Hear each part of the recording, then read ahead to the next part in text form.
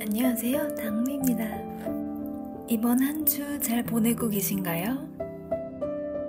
가끔 이렇게 일할 때 오리가 와서 먹을 거 달라고 해요. 이렇게 집 앞에 새가 오면 먹을 걸 주기도 한답니다.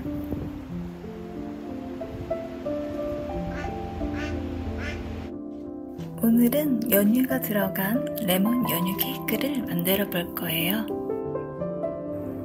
버터, 밀가루, 옥수수 전분, 베이킹 파우더, icing sugar, 우유, 크림치즈, 계란, 설탕, 레몬, 연유, 바닐라 에센스, 소금, 크림입니다.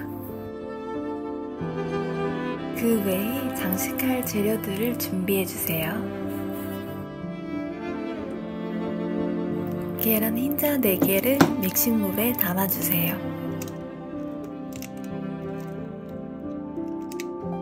참고로 오븐 예열을 160도로 해줍니다.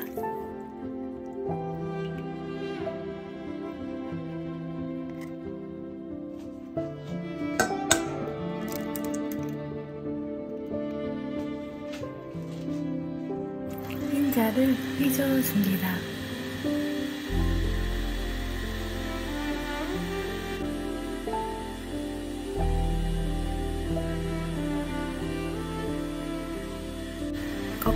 올라왔을 때 설탕 120g에 3분의 1 정도 나누어 추가합니다.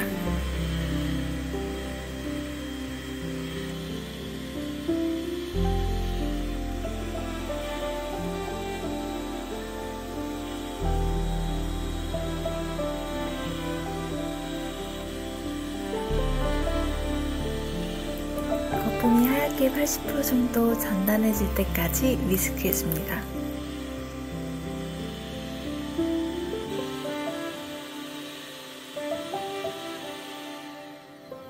위스크 후 한번 찍어서 풀 모양이 고정되어 있으면 됩니다.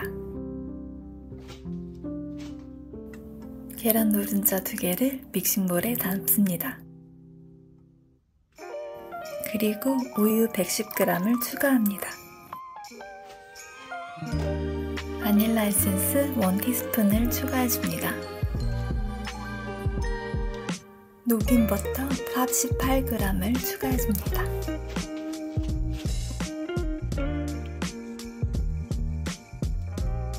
밀가루 100g, 옥수수 전분 2 테이블스푼, 베이킹 파우더 1 티스푼을 추가합니다. 레몬 제스트를 갈아 넣어줍니다.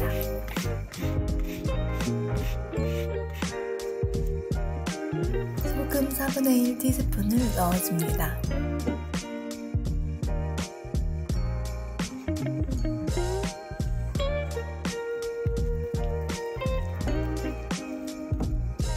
만들어 놓은 머랭을 나누어 추가해주고 섞어줍니다. 한꺼번에 넣어 섞는 것보다 공기가 들어가 구울 때 잘 부풀니다.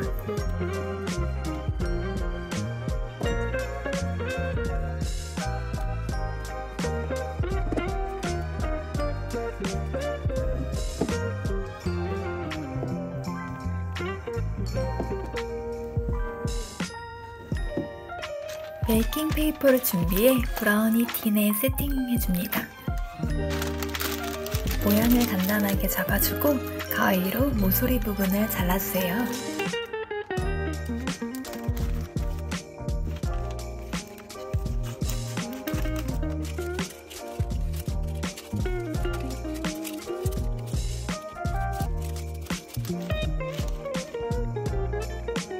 그리고 케이크 반죽을 안에다 부어줍니다.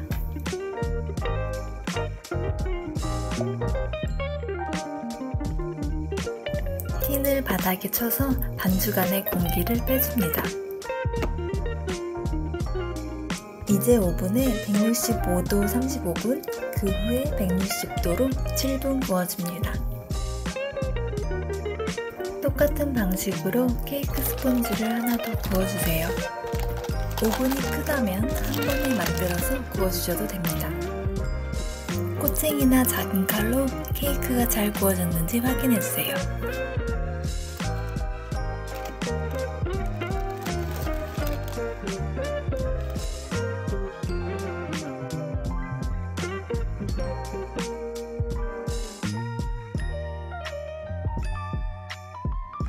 케이크를 장식할 재료들입니다. 필수 재료는 하단에 적어둘게요. 그 외에 케이크 장식 재료는 취향에 맞게 사용하시면 됩니다.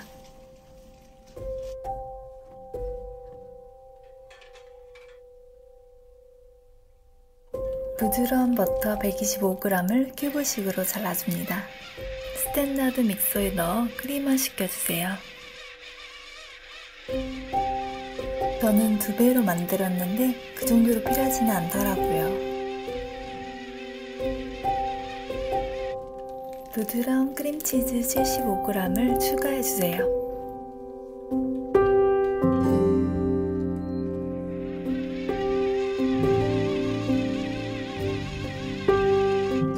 (80g) 아이싱 슈가를 추가합니다. 바닐라 에센스 4분의 1 티스푼을 넣어주세요.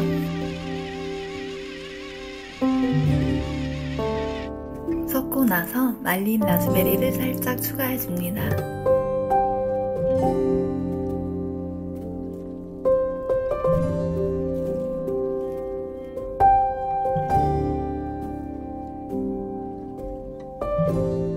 연유 100g을 추가해줍니다.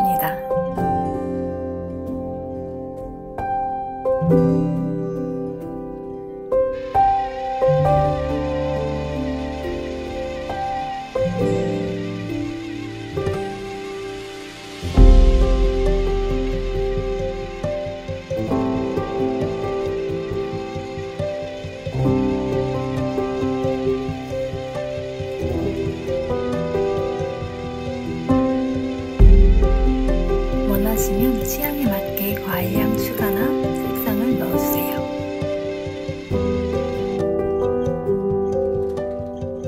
크림치즈 연유 프로스팅을 짤주머니에 담아주세요. 짤주머니를 냉장고에 보관해주시고 연유 생크림을 만들게요. 더블크림 200g, 일반 생크림 150g을 추가할게요. 생크림 350g만 사용하셔도 됩니다.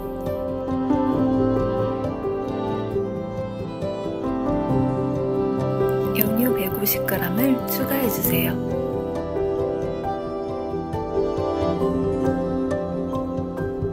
바닐라 에센스 1티스푼을 넣어줄게요. 휘핑을 할 때 크림이 다 튀기 때문에 천을 덮어서 휘핑해주세요. 크림을 빵에 바를 수 있을 정도의 단단함이 생기면 냉장고에 보관하세요. 케이크 스폰지를 이제 잘라볼 거예요.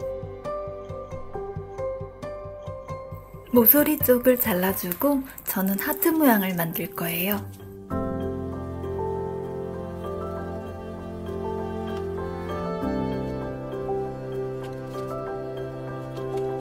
스폰지를 케이크 보드에 놓기 전에 크림을 살짝 중앙에 발라 고정하세요. 그리고 크림치즈 연유 frosting을 layering 해줍니다. 저는 여기에 딸기향을 살짝 추가해 주었어요.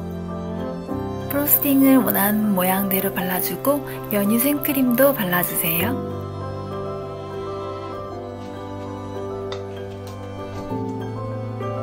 말린 라즈베리를 뿌려줍니다. 저는 포도로 장식해 주었어요. 여러분은 원하시는 과일 올리시면 된답니다. 그런 다음 또 다른 케이크 스펀지를 위에 올려주세요. 연유 생크림을 위에 바로 발라줄 거예요.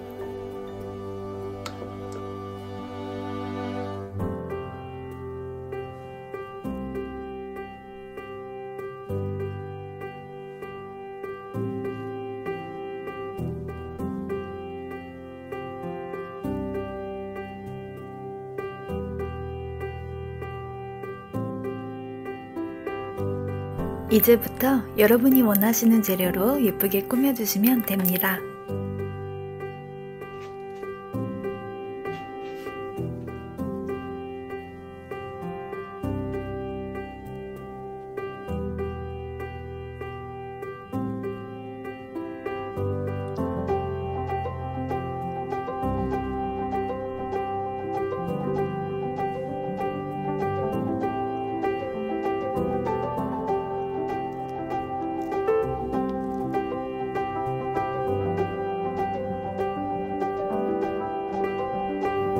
이렇게 완성되었어요.